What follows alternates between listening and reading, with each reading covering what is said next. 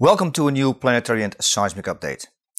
We look at the SSGI graph from the previous time frame and you may recall that I emphasized the convergence of critical planetary geometry on 6-7 December and as you can see we actually had quite a clustering, uh, a very obvious clustering of stronger earthquakes uh, on 8 and 9 December in particular, um, also into the 6 magnitude range. Um, and this is the typical temporal clustering that I refer to so often that follows on convergence of critical geometry in the solar system. This is a perfect example. No major earthquake. We had, of course, a magnitude 7 in California on the 5th. That was uh, before this convergence. But here we see this obvious seismic response to the critical planetary uh, geometry that we had on uh, 6 and 7 December. We also see some uh, moderate tremors uh, in the higher 5 magnitude range on the 10th 5.8 that followed on a planetary conjunction with Mercury and also the 5.6 in Fiji. Uh, nothing unusual really. We see that with the lunar peaks uh, on the 11th uh, and 12th and a 6.4 actually remember uh, on the 14th around the 14th I estimated that could be a large potentially even magnitude 8 earthquake. It actually stayed at magnitude 6.4 uh, late on the 13th but the 14th was pretty accurate with the potential of increased seismic activity there.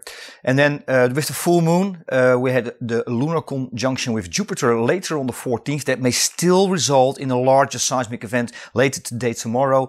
But we see this 5.9 in Tonga just following this uh, lunar conjunction with Jupiter and also the, uh, the full moon uh, on the 15th. So keep in mind, later today, tomorrow, there is the potential of a larger earthquake. Uh, could be in the 7 magnitude range, especially because of the lunar conjunction with Jupiter uh, late on the 14th. And if we count about two and a half days, we end up later today or tomorrow. There is a slight possibility there, but it also depends on the stress levels in Earth's crust.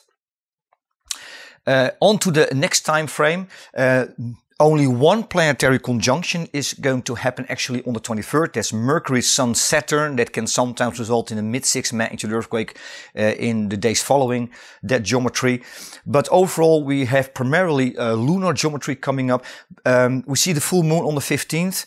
Uh, I, over, I overlap the 15th here. And um, what I would like to pay a special attention to is uh, a convergence of some lunar and planetary geometry on the 18th and uh, 19th, especially the 18th. Uh, we have a semi-right angle lunar geometry of Saturn and Jupiter, and it's very tight. There's only a few hours in between. That can result in a stronger seismic activity, an obvious seismic response in a higher five or six magnitude range easily. And uh, we have the lunar conjunction with Mars on the 18th, and that happens in between semi-right angle planetary geometry with Venus, Mercury, and Uranus, and that can sometimes result in a, a obvious seismic response, a strong to major seismic event. And I would mark around the 20th as critical because of that geometry. Uh, keep in mind this convergence around the 18th, and uh, then we have two uh, lunar conjunctions with uh, Saturn and Neptune, I should say opposition, but we always use the term conjunction here on the 21st and the 22nd. And uh, we often see some seismic response following these type of lunar conjunctions, sometimes a larger earthquake. And I would mark the around the 24th, 23rd, 24th also as potentially more critical.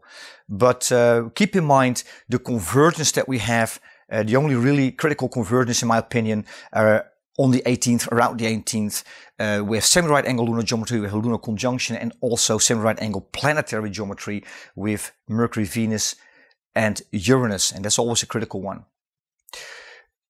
Of the atmospheric fluctuations that were recorded in the last several days, I would like to pay attention to the central Mediterranean. We had fluctuations there on the 10th, and Last night we had a moderate tremor in Algeria, only 4.9. It was slightly to the west of these fluctuations, but I would like to pay special attention to the central Mediterranean because if you look at history, there have been major earthquakes in southern Italy.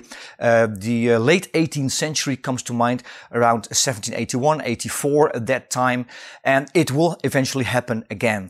And in my opinion, it looks like Italy is due, also Greece, southern Greece perhaps, uh, for a, strong tremor into the six magnitude range easily. Um, but Italy, I think that is something that needs to uh, needs attention in the near future. We don't know exactly when it's going to happen, but it's been a while since Italy has experienced a larger seismic activity, and it's uh, uh, currently in between some increased seismic activity that we've seen in the Eastern Mediterranean and now in, also in Algeria. And all the while, this region here with Italy, it stays pretty quiet. You can uh, look up the latest updates on our website with uh, atmospheric fluctuations and also in our social media. Um, we keep monitoring, of course. Uh, this is the update for now. Stay safe. Until next time.